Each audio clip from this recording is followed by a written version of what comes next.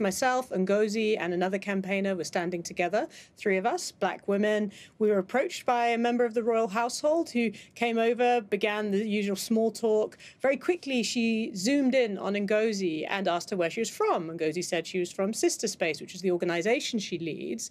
Um, but what followed was almost an interrogation. There was question after question about where she was really from, where her people came from, what her nationality was. And, and Ngozi said, I'm British. I was born in the UK, but that wasn't enough for this person. This person really wanted to um, extract some other information about her heritage, her African heritage. And it was really uncomfortable. In the end, um, it was a prolonged um, encounter over several minutes. And in the end, it left, you know, all of us feeling like perhaps we didn't belong um, at the event. Perhaps we weren't truly welcome.